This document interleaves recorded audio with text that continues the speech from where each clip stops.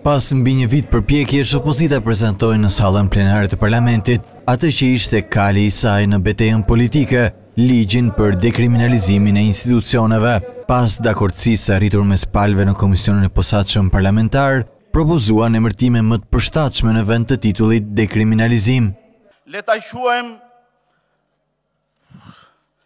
purifikim, tha kolegu im Ruli, megjithëse kjo fjalë na çon në disa hapësira të tjera qiellore dhe ndoshta na ngatërron me një gjë tjetër, çintoksifikim, pastrim, siç tha Imami, çndotje, siç tha po ai, apo dhe ligji Bylykbashi-Balla po deshët, por jo dekriminalizim, ju lutem. Bie plotësisht dakord me vënien në diskutim të terminologjisë, mbasi do thosha që në vend të dekriminalizimit mund të bënim fjalë për de-edvinizimin e administratës.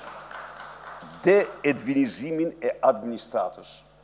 Drafti u cilësua një hap përpara nga Sali Berisha, por i pamjaftueshëm nëse nuk përfshihet në të testi i drogës, për të cilin demokratët paraqitën edhe një amendament. Pa testin e drogës ligji është i gjymtuar. Edi Rama është i droguar sipas shumicës së shqiptarëve. A nuk është ai që flet në eufori dhe në halucinacione këtu mas nesh? Që shpall disfatat suksese të mëdha? Dhe herë tjetër bie në depresion të thellë, s'ngre kokën dhe bëhet qesharak me foto që qarkullojnë gjithë botën? A jeni burra?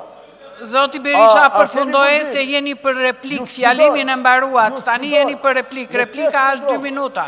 Që të gjithë me test të drogës. Ju sfidoj. Ndonëse ka dorëzuar prej kohësh mandatin e deputetit, mes folësve të shumicës, kishte shkruar emrin dhe Saimir Tahiri. Kjo seancë duhet na bëjë me turp nga pak të gjithë. Dhe mundësisht ta votonim këtë ligj kokulur dhe pa debat. Si një ndjenjë e heshtur ndjese ndaj publikut, ndaj qytetarëve dhe ndaj votuesve, të cilëve padrejtësisht çdo ditë i kemi treguar anën më të errët të bishtave të politikës.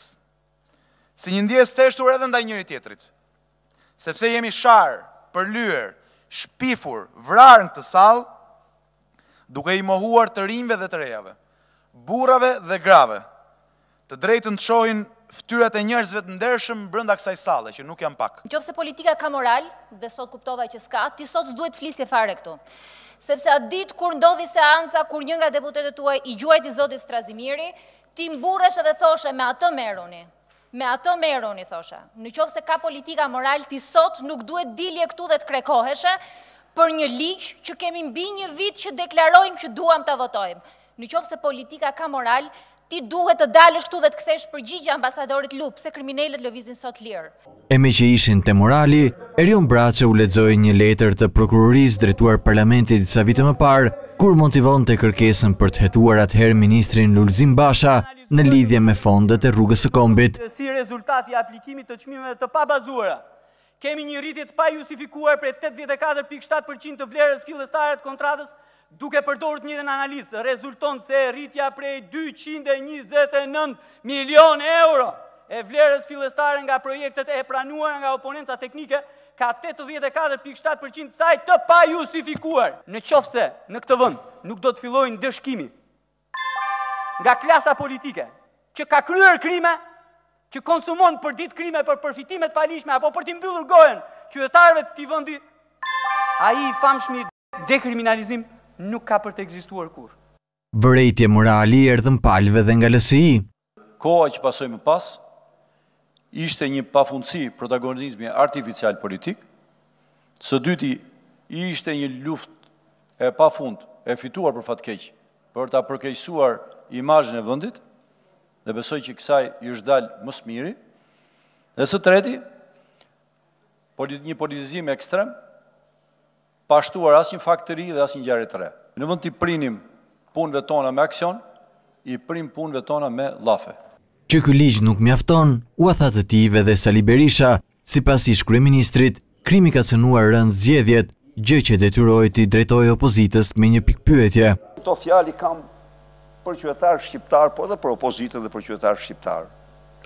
Ky ligj është shumë i mirë. Ky ligj është shumë i mirë. Por gjithçka do përcaktohet. Gjithçka do të përcaktohet. Sa do jemi ne? Sa do jetë opozita? Sa do jenë qytetarët të aftë?